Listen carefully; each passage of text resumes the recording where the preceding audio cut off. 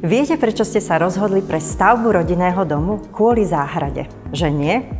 Ak by vám chýbala jedna izba, špajza alebo väčšia kuchyňa, mohli by ste si kúpiť väčší byt v lepšej štvrti. Je to tak? Rodinné domy si naozaj staviame práve kvôli záhrade. To dvojročné stavebné šialenstvo, handrkovanie s úradmi a rôznymi dodávateľmi sme ochotní podstúpiť práve preto, aby sme si mohli vychutnať prvú šálku kávy na terase zaliatej slnkom. Hľadáme miesto, kde sa môžeme váľať, povalovať, opalovať, kde sa môžeme naháňať s deťmi, organizovať veselé záhradné párty, detské oslavy alebo nedelné obedy s vôňou paradajok a čerstvej bazálky.